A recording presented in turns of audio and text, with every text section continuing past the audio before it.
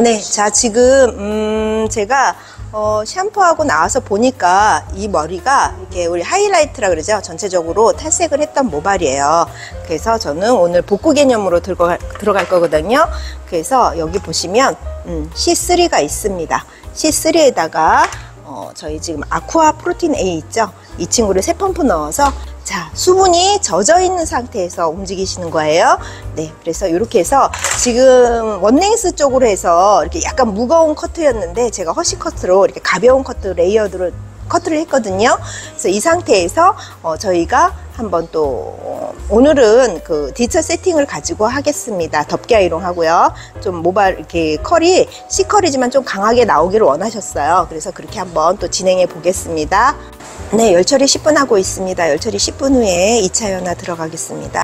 네, 열처리 10분 했습니다. 그래서 지금은 지금부터 제가 할 게 저희 피카의 미친 연화라 그러죠.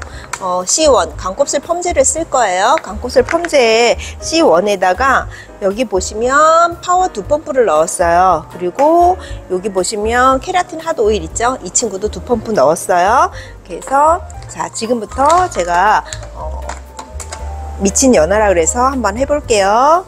네, 우리가 손상이 있다 그래서 예, 그냥 손상모를 쓰시는 것보다 조금 더 정확하게 네, 하기 위해서 또 한번 제가 강꽃을 펌제를 써볼게요.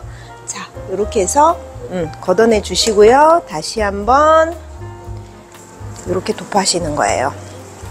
그러면 어때요? 윤기가 굉장히 반짝반짝 많이 나죠? 네, 이렇게 연화보시면 되겠습니다. 제가 5분 후에, 방치하고 5분 후에 깨끗이 헹구고 나와서 와인딩 들어가겠습니다. 네, 자, 지금 연화 후에 제가 어, 디지털 세팅으로 해서 와인딩을 했어요. 하고 나서, 자, 지금부터 뭘 할 거냐면, 어, 여기 보시면 덮개 아이롱 있죠? 이 친구를 해서 한 번씩만 더 찝어줄 거예요.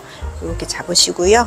네, 이렇게. 하나, 둘, 셋, 넷, 다섯 이렇게 예. 자 디지털 세팅을 하고 나서 파마종이 세 장으로 해서 이렇게 로트를 이렇게 감싸 주시는 거예요. 네. 그 다음에 덮개 아이롱을 사용해서 하나, 둘, 셋, 넷, 다섯. 네, 이렇게 해서 찝으시면 어, 컬이 조금 더 탄력 있는 컬을 얻을 수가 있습니다. 그러니까 우리가 디지털 세팅을 하면서 예, 조금 더 강한 컬을 원하, 원하신다 하시면 이렇게 덮개 아이롱을 활용하셔서 찝어주시면 되겠습니다. 하나, 둘, 셋, 넷, 다섯. 예, 이렇게 해서 계속 진행해 나가겠습니다. 네, 자, 지금 보시면 중화하고 나서 샴푸하고 나왔어요. 어때요? 잘 나왔죠? 또 완전 건조하고 다시 한번 또 보여드리겠습니다.